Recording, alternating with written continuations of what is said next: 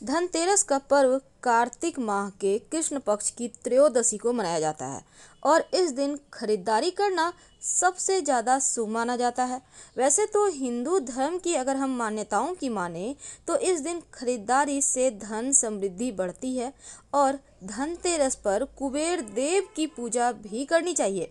क्योंकि पौराणिक कथा के अनुसार कार्तिक माह के कृष्ण पक्ष की त्रयोदशी पर ही धनवंतरी अमृत कलश लेकर प्रकट हुए थे और तभी से धनतेरस पर बर्तन खरीदने की परंपरा चली आ रही है।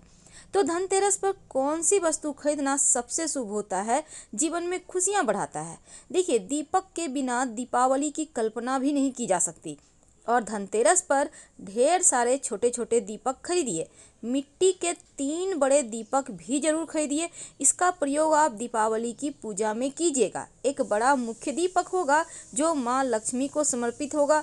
दूसरा बड़ा सरसों के तेल का दीपक माँ काली के लिए। और जबकि तीसरा बड़ा जो दीपक है, वो तिरछा करके, सरसों के तेल वाले दीपक के ऊपर रखा जाएगा, ताकि उसमें रात भर काजल बन सके और यही काजल आपको सुरक्षा कवच देगा।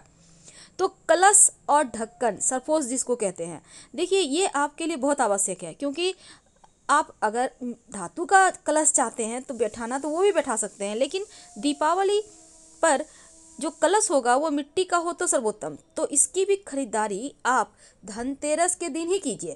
अब दीपावली पर माँ लक्ष्मी गणेश भगवान की मूर्ति की पूजा होगी।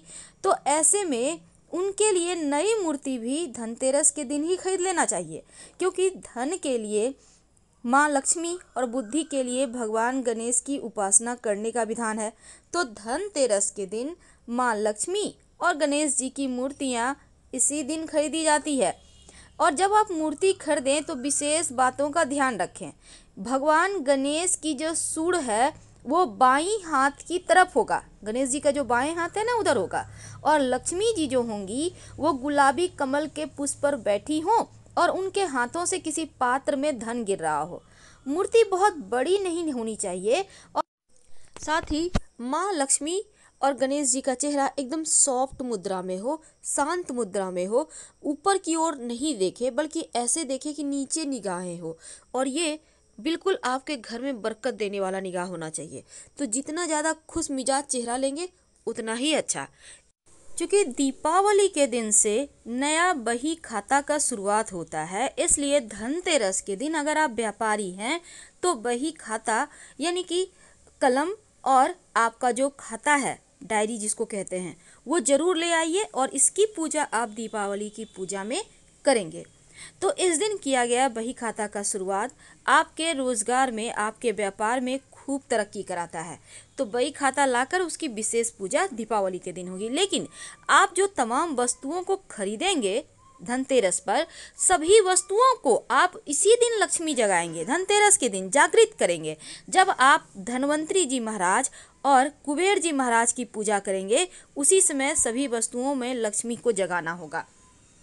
तो इस दिन सरसों, पीली सरसों ज़रूर लाइएगा खरीद कर क्योंकि जो सरसों है वो नकारात्मक ऊर्जाओं से बचाता है और लक्ष्मी को बुलाता है। तो ये दीपावली की पूजा में सबसे अहम भूमिका निभाएगा सरसों। पान का पत्ता, इसके बिना तो पूजा ही अधूरा है।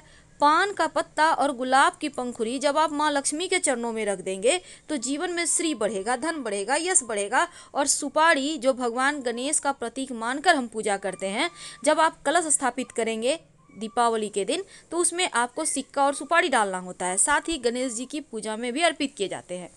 धान, जो आप कलश स्थापित करेंगे दीपावली के दिन तो धान कलश के नीचे रखा जाता है। वैसे चावल भी रखने का विधान है, आपके पास जो भी अवेलेबल रहेगा, लेकिन धान ज़रूर लाइएगा, क्योंकि धान लाने से सुख बढ़ता है, समृद्धि बढ़ता है, और धान का माँ लक्ष्मी से सीधा संबंध है।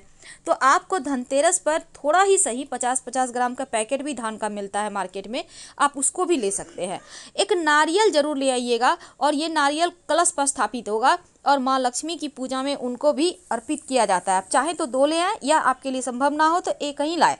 तो ये नारियल को भी लाना होगा और फल, वैसे तो आप धनतेरस के दिन भी ला सकते हैं या फिर दीपावली तक किसी भी दिन ला सकते हैं।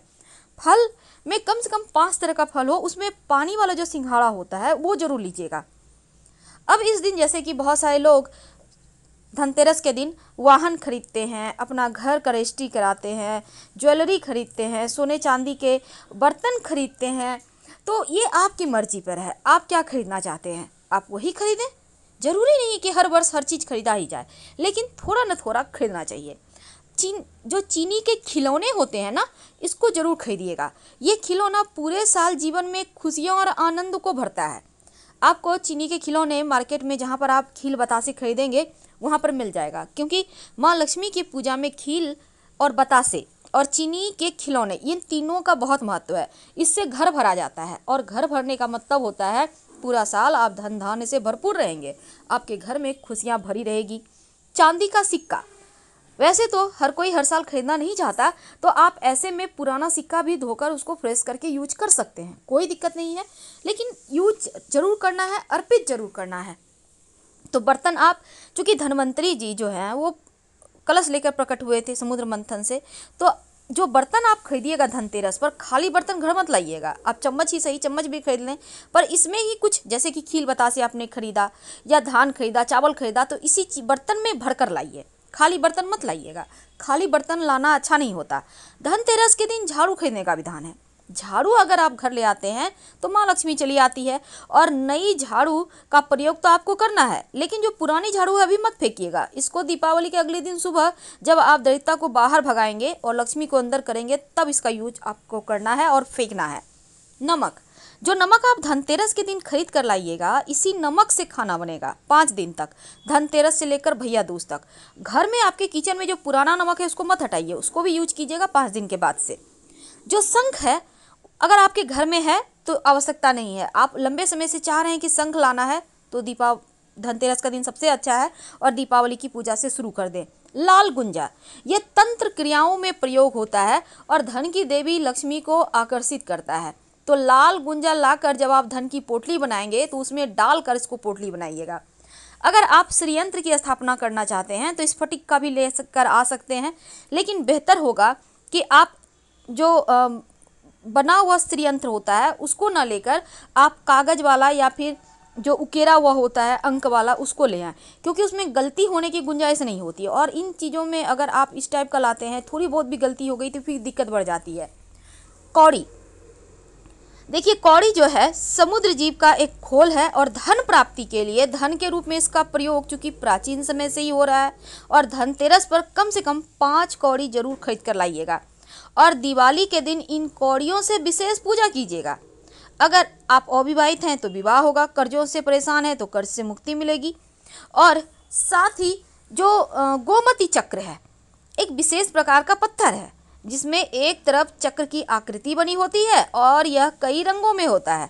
सफ़ेद रंग का जो गोमती चक्र है, सबसे महत्वपूर्ण है।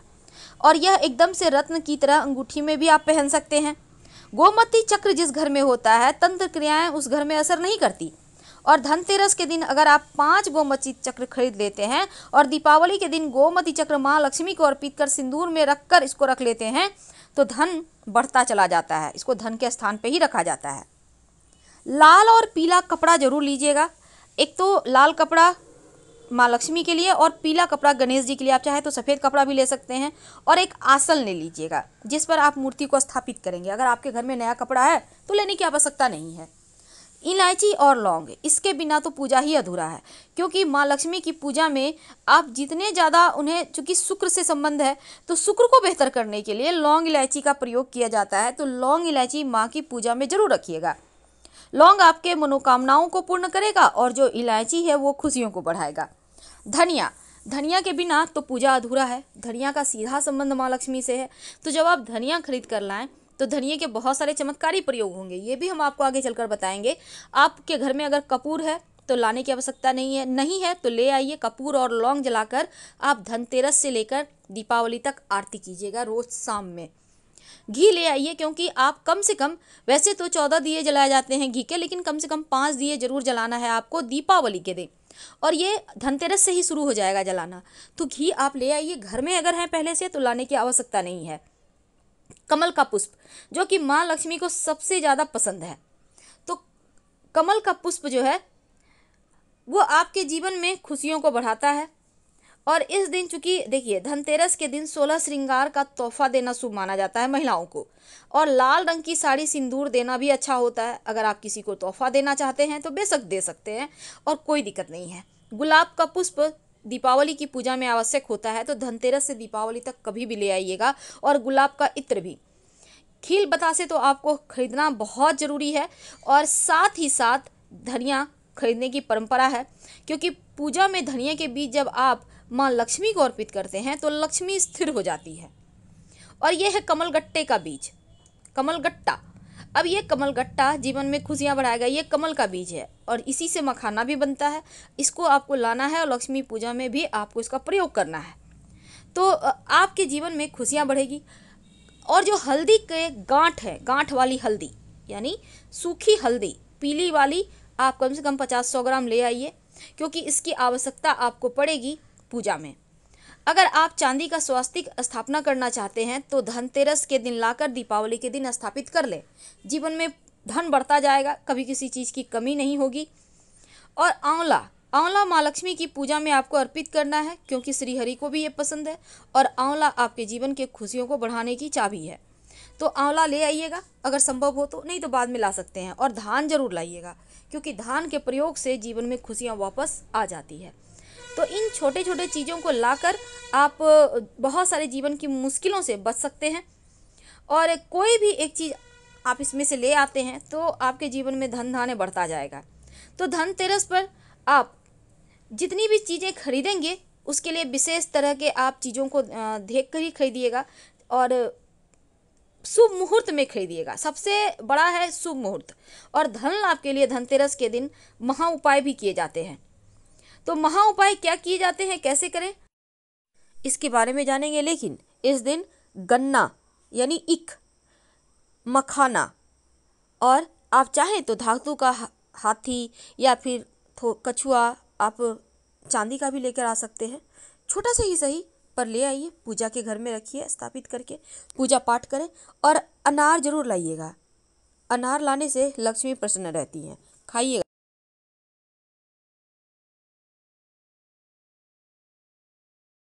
तो हम आपसे विदा लेते हैं। जानकारी अच्छी लगे तब लाइक